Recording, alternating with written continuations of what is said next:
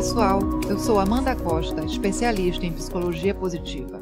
E o tema desse episódio é a sensação de estar exaurido pela vida.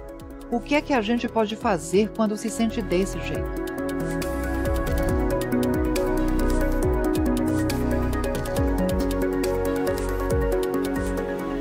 Hoje a gente vai direto ao ponto. Até porque esse episódio é uma continuação do anterior sobre os três tipos de estresse. Só que agora a gente vai saber o que pode fazer quando a angústia e a exaustão que o estresse provoca batem à nossa porta. Mas antes, deixa eu compartilhar com vocês mais uma cena da série In Just Like That, que tem tudo a ver com o tema de hoje. How am I going to afford this apartment? I was counting on that TV money. Okay, so you'll make another show. You'll make an even better show. Yeah, it doesn't work that way. You mean it didn't before now? But you're you. There is nobody like you. You just have to suck it up and, and pull yourself out of this. I'll be your cheerleader. Oh, Miranda, stop. Let's go. Stop. Let's go. Miranda, stop. Let's stop. go. Stop. I don't need a cheerleader. This isn't a game. This is my life. This is my career. This is my identity. It took me 46 years to figure out who I am and then a focus group one hour to fucking destroy me. So I don't need to be all Tony Robbins right now. I got it. So what can I do? I don't. Nothing. I'm a mess. I just need some space. Would you mind staying the night at your other place? Oh, sure. Of course. Can I hug you before I go?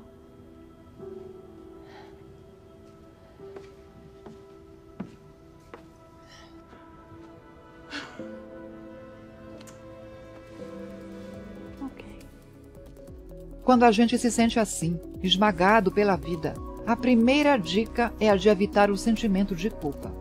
Já dissemos que se culpar não ajuda em nada, mas muitas pessoas acreditam que se sofrem é porque de alguma forma elas merecem. Então não caia na armadilha de pensar: se está sendo duro para mim, eu devo merecer isso. Tanta gente está bem, porque eu não estou? Bom, a verdade é que coisas ruins acontecem com todo mundo. Tá cheio de gente inteligente, talentosa e boa, lidando com situações muito duras. Tem gente que precisa de medicamentos caríssimos para continuar vivendo e não tem uma boa condição financeira, por exemplo. É claro que uma parte das nossas infelicidades se deve a escolhas ruins que fizemos, isso é certo. Às vezes, essas decisões geram poucas consequências, outras vezes, carregamos as consequências pela vida. Só que em certas situações, nós decidimos certo e tudo fica muito bem por um tempo. Depois, as circunstâncias mudam e aquela decisão agora parece que foi inadequada. Mas você não tinha bola de cristal para saber o que estava pela frente. Você decidiu com a informação daquele momento.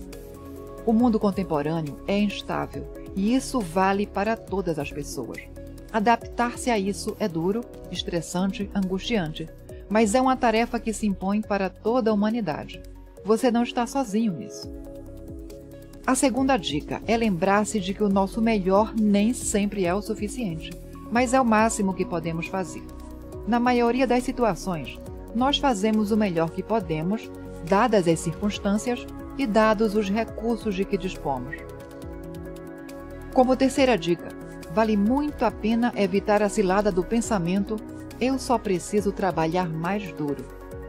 Muita gente reage ao estresse, às adversidades ou à exaustão tentando trabalhar mais. O mais indicado é reduzir a marcha e avaliar se você já não está fazendo o seu melhor. Em certos casos, quando os resultados dos nossos esforços ficam abaixo do desejado, a gente pensa logo que não está fazendo o que pode. Só que isso pode ser uma cilada que vai te levar a uma exaustão ainda maior. Se você percebe, com toda honestidade, que já está dando o seu melhor, em vez de trabalhar mais duro, pode ser mais inteligente procurar novas formas de lidar com a situação. Isso vale para qualquer situação difícil, não só com o trabalho. Se você sente que está fazendo o seu melhor, para comer menos, por exemplo, mas não está perdendo tanto peso?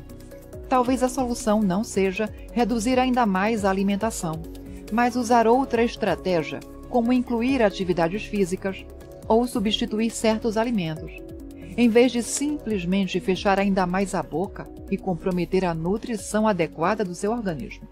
Às vezes, pode valer a pena até procurar a opinião de um segundo profissional. A quarta dica tem a ver com a nossa velha conhecida, a ruminação. De cada 100 pessoas altamente estressadas, 110 vão acabar resvalando no hábito da ruminação, que é justamente ficar repassando mentalmente os próprios problemas. É claro que fazemos isso com a melhor intenção de encontrar soluções. Só que esses pensamentos excessivos nos predispõem à depressão e embotam de nossas habilidades de solução de problemas. E é justamente o oposto do que desejamos. Se você já pensou pra caramba sobre os seus problemas, reconheça que a resposta provavelmente não está em ruminá-los ainda mais. Em vez disso, tire uma pausa e se afaste dos pensamentos excessivos. Isso vai te dar espaço mental para começar a trabalhar em pequenas coisas que podem te ajudar a melhorar sua situação ou seu humor. Você pode interromper a ruminação encontrando amigos, ocupando-se com coisas interessantes que prendam a sua atenção. Já fizemos vídeos com dicas específicas sobre como interromper a ruminação. É só dar uma busca aqui no canal. A quinta dica é regular as suas rotinas. Isso é muito usado como parte do tratamento para a bipolaridade, mas também funciona muito com pessoas que se sentem exaustas e estressadas pela vida. Regule rotinas para o sono, para a alimentação, para a socialização e para o trabalho. Em vez de fazer essas coisas do jeito que dá, garanta horários para tudo e faça o possível para respeitá-los. Ter rotinas consistentes reduzem a sensação de que estamos à deriva e que o mundo faz conosco o que bem quer. Nossas rotinas nos dão segurança, nos permitem ter um mínimo de controle sobre nossas vidas. Ninguém permanece saudável por muito tempo sendo empurrado pela vida. Por fim, use estratégias de alívio fisiológico. São estratégias que acalmam nosso sistema nervoso. Se você está se sentindo paralisado pelo medo ou exausto pela vida, provavelmente você está vivenciando o modo de congelamento da resposta lutar, fugir ou congelar. Quando não podemos lutar nem fugir, congelamos. Eu vejo muito isso nos meus gatos. Quando um gato menor é encurralado por um maior, o menorzinho sabe que não pode lutar, nem tem condições de fugir. Então, ao se perceber encurralado, ele congela e fica todo encolhido em modo de espera. Nós também temos esse sistema embutido no nosso repertório de reações ao estresse. Então, se estamos congelados, para podermos pensar direito, precisamos aprender a acalmar nosso sistema nervoso.